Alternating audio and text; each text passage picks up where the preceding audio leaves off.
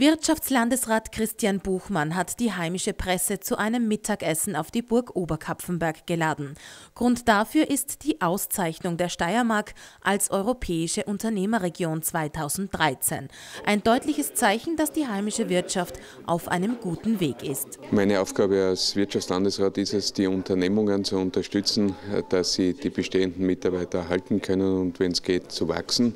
Äh, und da gibt es auch verschiedenste Initiativen, wo wir in den Regionen Dienlich sein wollen, entlang von 23 Förderungsprogrammen. Wenn es beispielsweise um die Stärkung der Nahversorgung geht, haben dann die Konsumenten in den Regionen etwas davon.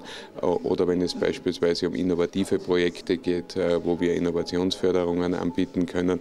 Also da gibt es ein breites Bündel von Beratungsleistungen, von monetären Förderungsleistungen, wo wir dienlich sind. Also insgesamt bin ich sehr zuversichtlich, äh, dass wir im Jahr 2013 Beschäftigung halten können und auch aufbauen können.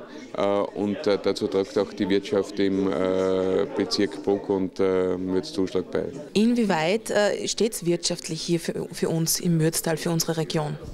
Grundsätzlich durchaus sehr gut. Also die Firmen selber sind von der Auslastung her durchweg sehr gut ausgelastet, vor allem auch was die mittlere Industriebetriebe sind. Da weiß ich selber unmittelbar in meiner Umgebung, diese Betriebe sind auf gutes, ein gutes Jahr bereits jetzt ausgelastet und haben eher Schwierigkeiten, gutes Personal zu finden.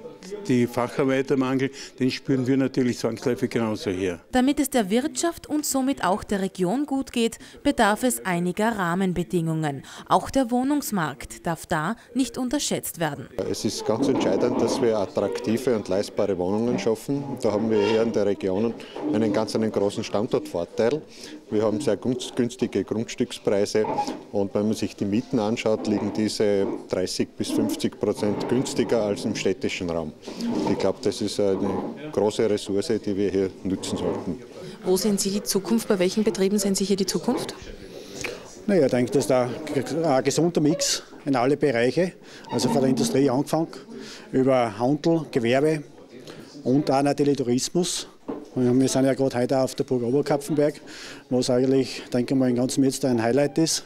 Und es soll auch in Zukunft besser beworben werden. Geht es der Wirtschaft gut, geht es auch der Region gut und umgekehrt.